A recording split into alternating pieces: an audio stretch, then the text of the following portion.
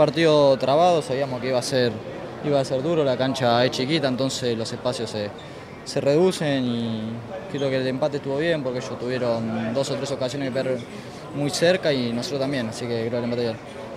Y con la posición lo practiqué dos días de la semana y bueno, traté de hacerlo lo mejor posible. ¿Te había tocado alguna vez jugar de carrilero prácticamente? Porque hoy lo hiciste en ese lugar. Jugué un par de veces en inferiores, pero lo que sería un carrilero más adelantado. Sería un, win eh, atrasado, no de cuatro. Digo, bueno, fue un partido durísimo, recién hablaban tanto el gringo como Daoe, que se analizaron demasiado, se conocían demasiado. Y quizá el 0-0 se explique por eso, por, por lo que se conocían, por el estilo parecido que pueden tener. Creo que sí, creo que sí. La cancha también, al ser, al ser una cancha chica, el partido se vuelve más trabado. Y al conocernos, bueno, por eso me parece que, que el resultado estuvo bien.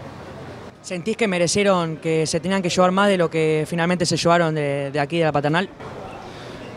Eh, creo, creo que no, como dije antes, el, em- el empate me parece que estuvo bien, ellos crearon situaciones y nosotros también, así que, que bueno, no, no nos vamos conformes porque tendríamos que habernos llevado los tres puntos porque es lo que nosotros queremos.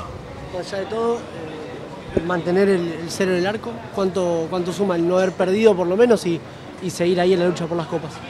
Es importante, es importante, una de las cosas positivas es, poder mantener el cero porque después si, si nosotros vamos a marcar y mantenemos el cero vamos a llevarnos los tres puntos de todas las canchas, así que eso, eso es importante. ¿Qué faltó para llevarse los tres? estar más finos en la definición y poder encontrar capaz lo mejor los espacios en los últimos tres cuartos que, que, que se nos achicaban los espacios y no los pudimos encontrar. La idea recién, el gringo hablaba un poco de, de que los extremos habían jugado un poco más cerrados. Eh, ¿cómo, ¿Cómo era la idea para atacar a Argentino Junior? ¿Era que ustedes pasen por los costados y, quizás cerrar más a, lo- a los wins y perforar por ahí? Sí, porque analizamos y ellos, los dos laterales de ellos pasan mucho, entonces si nosotros bajamos a los wines con los laterales íbamos a quedar muy metidos en, nuestro campo.